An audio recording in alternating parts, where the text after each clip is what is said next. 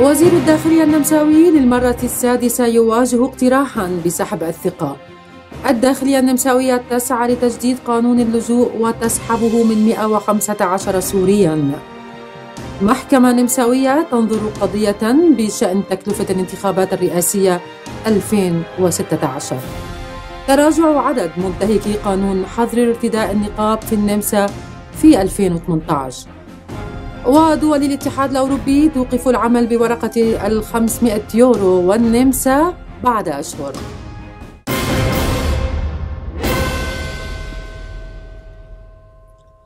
السلام عليكم بأهم الأخبار. وفي التفاصيل قدمت أحزاب المعارضة النمساوية الأربعاء اقتراحا آخر في البرلمان لسحب الثقة من وزير الداخلية النمساوي هيربرت كيكل. وإجباره على تقديم استقالته وذلك بعد أن شكك في قواعد الاتفاقية الأوروبية لحقوق الإنسان. ويعد هذا الاقتراح هو السادس الذي يطرح في البرلمان لسحب الثقة منه.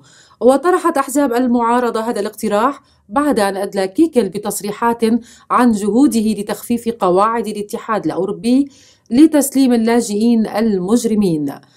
حيث تسمح هذه القواعد بطرد اللاجئين في حالة ارتكابهم جرائم خطيرة.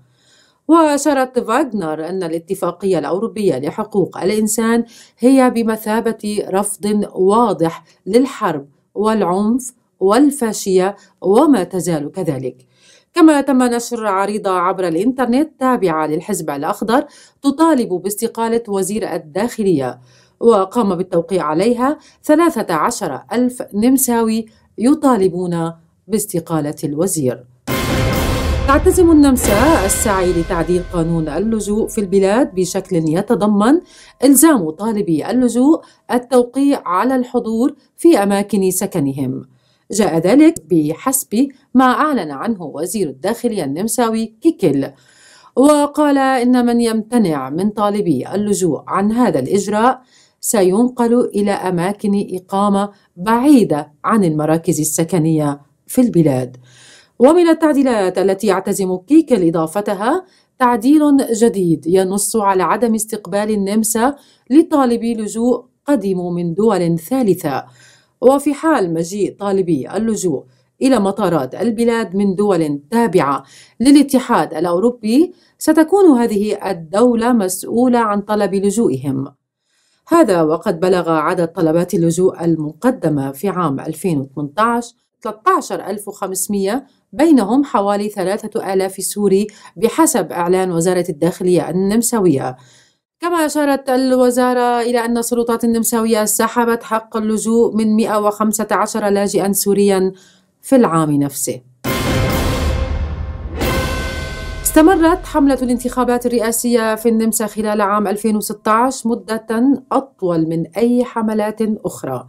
وذلك بسبب مشاكل في عملية فرز الأصوات التي تفاقمت جراء مظاريف خاطئة تم استخدامها في عملية الاقتراع الغيابي. وتسبب الوقت الإضافي في اضطرار المرشحين لقضاء وقت أكبر من المتوقع. ويود المرشح الخاسر الآن أن يسترد أمواله وأكدت المحكمة لوكالة الأنباء النمساوية أن حزب الحرية اليميني قد رفع دعوى يطالب فيها تعويضا بقيمة 3.4 مليون يورو كان قد أنفقها المرشح الخاسر نوربرت هوفر وزير النقل الحالي. ومن المقرر أن تتم إحالة القضية إلى محكمة فيينا الإقليمية في الخامس من نيسان أبريل المقبل.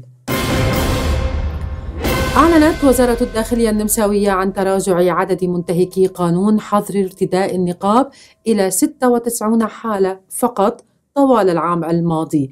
وأوضحت الوزارة أن فترة الأشهر الثلاثة الأخيرة من عام 2017 التي انطلق فيها تطبيق القانون شهدت حدوث 52 انتهاكا الأمر الذي يكشف تزايد الالتزام في عام 2018 ببنود هذا القانون. وكان البرلمان النمساوي اعتمد قانون حظر النقاب في الأول من شهر أكتوبر من عام 2017 حيث فرض غرامات تصل إلى 150 يورو على أي شخص يخفي ملامح وجهه في الأماكن العامة. أعلنت غالبية دول منطقة اليورو التوقف عن استخدام عملة فئة ال 500 يورو لكن أرجأت كل من ألمانيا والنمسا القرار حتى وقت لاحق من هذا العام.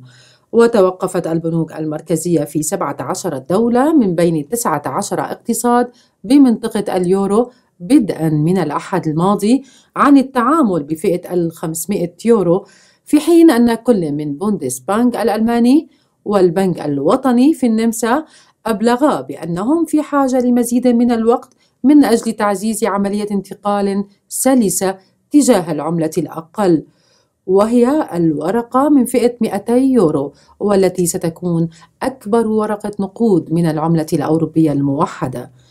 ومن المقرر أن تلحق كل من ألمانيا والنمسا بهم في أبريل المقبل وفي عام 2016 أعلن البنك المركزي الأوروبي التوقف عن إنتاج عملة ال 500 يورو مستشهدا بالعمليات غير المشروعة مثل غسل الأموال والتهرب الضريبي وتمويل الإرهاب.